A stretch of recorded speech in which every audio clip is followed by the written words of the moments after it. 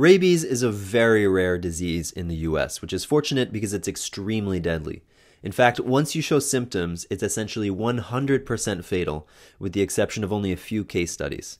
And rabies is not endemic in humans. It's transmitted to humans from animals, either dogs, hence the term rabid dog, or bats, or some other animal.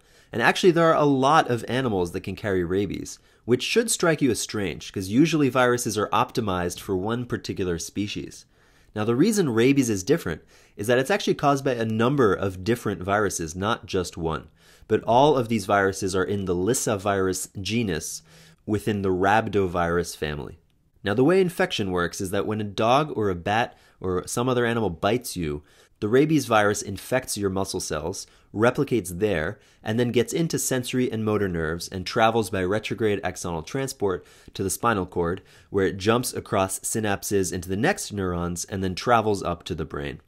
Now, easily said, but this can take a long time, and the incubation period can last from a week to as long as a year. And it depends in part on where you get bitten. The closer the bite is to the brain, like a bite on the face compared to the foot, the quicker it can get to the CNS, because axonal transport takes time. Now, this long incubation period is important to note because it's a time when we can intervene with vaccination, which we'll talk about soon, whereas once symptoms start, it's too late, the patient will die. Now, once in the brain, the virus infects neurons.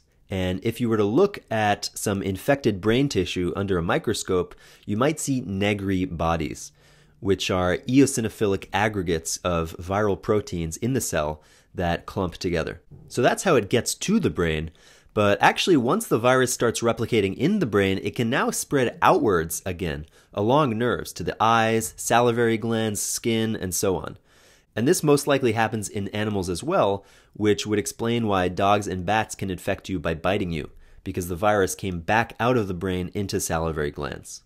So, how does rabies look clinically? Well, first you have a prodromal phase with flu like symptoms, nausea, vomiting, and then only after that do you get encephalitis with fever, agitation, hydrophobia, meaning fear of water, pharyngeal spasms, coma, flaccid paralysis, seizures, respiratory and vascular collapse, a lot of things clearly. The upshot is nearly everybody dies and quickly too.